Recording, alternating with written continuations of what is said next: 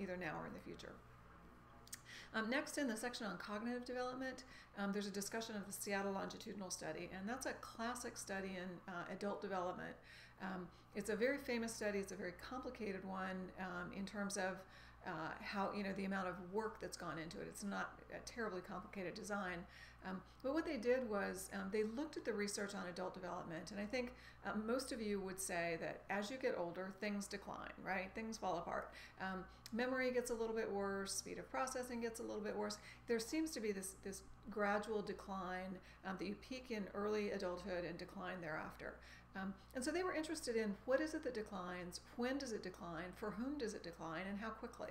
Um, so uh, typically what had been done were cross-sectional studies. So comparing, say, my age group to your age group, um, if your age group does better, then the suggestion is that things decline over, over time.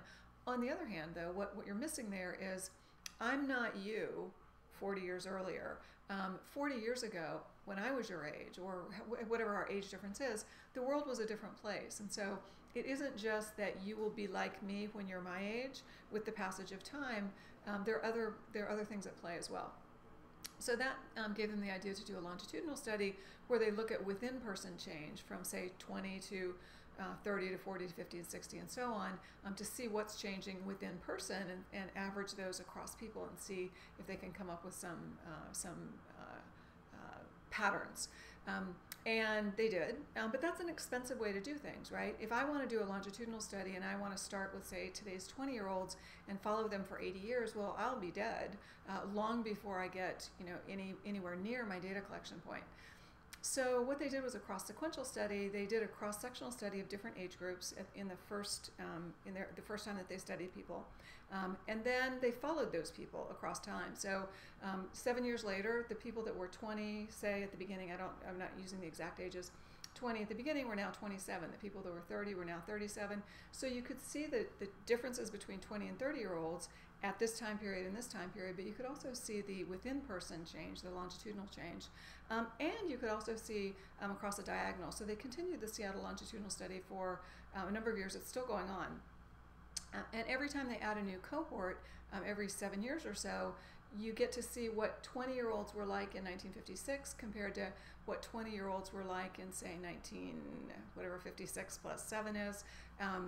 So, you know, and, and go on right up until today. And so you can see how the world has changed for 20 year olds or 30 year olds or 40 year olds in addition to the within person change and the between group change.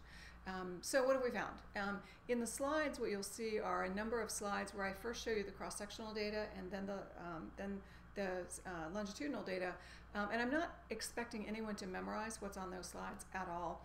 What I'd like you to do though is take a step back and say, look at the pattern, because when you see the cross-sectional findings, which is everything that we used to know about adult cognitive development, what you see is a, a decline from early adulthood throughout the rest of the lifespan.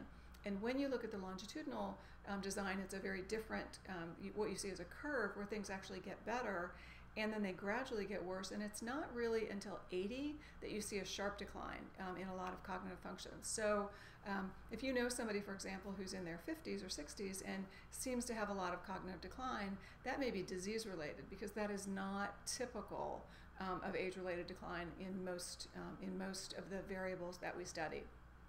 There's an exception to that though, um, and that's speed of processing. So um, if you're going to play a beat the buzzer game, um, I would play it with somebody younger if you have a choice. Um, speed of processing is a physiological function in, in part, um, and so it depends on you know brain changes in the brain, and that's not something that the environment can have a tremendous impact on from one generation to the next.